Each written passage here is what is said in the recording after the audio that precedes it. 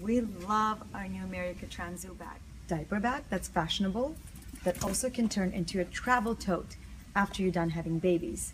Um, it's got an awesome pouch to keep all your necessities in. It's got a lot of compartments which are waterproof, so for any accidents or spillage, and um, lots of little pockets. And attached to the side, notice to the side and not on the bottom, so to have easy access. There is a baby changing pad that you can unroll when you're traveling or are on the go. Um, another very cool feature is that there's straps for different types of strollers. So you have a long strap or a short strap. Everything is made in leather, very well done, very beautifully done. And um, the best thing about it is that after you're done having babies, it's just turned into your great little tote.